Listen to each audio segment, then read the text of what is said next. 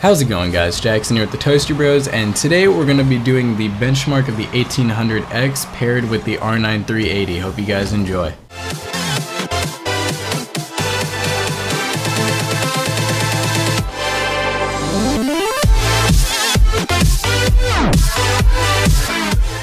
Okay, so first question you might be wondering is why the R9 380 with the 1800X? Well, the only reason I'm doing that is because I've not had a chance to upgrade that card yet. It still does keep up with everything, but with the 1800X in this system, it really does need an upgrade.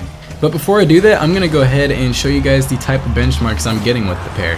So of course the first game we have here is Rocket League. So we got a minimum of 53 FPS, a max of 81, and an average of 75, and this is all at 1920 by 1080 with max settings.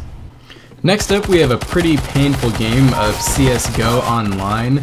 So we had a minimum of 152 FPS, a maximum of 294 FPS, and an average of 204 FPS.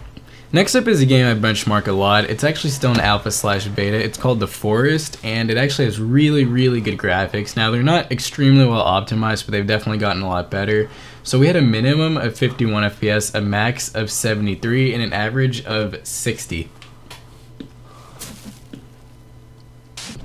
So the last game we will be testing is Battlefield 1. So this game has really awesome graphics. We ran it at 1920 by 1080 at max settings. So we had a minimum of 59 FPS, a max of 61 FPS, and an average of 59.9 or just 60 FPS. So in conclusion, the R9 380 matched with the 1800X actually performs really well. I don't see any bottlenecking happening, although the graphics card is of course holding the 1800X back.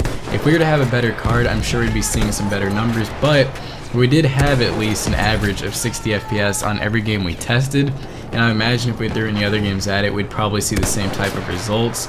So if you were to want to throw things at it like recording with fraps, for example, I do have trouble doing that. Um, on a lot of games, I end up dropping frames, so I had to use something like OBS to record because you got to use something that's a little bit less graphics and a little bit less storage intensive. So stay tuned for when I match the 1800X up with a brand new card.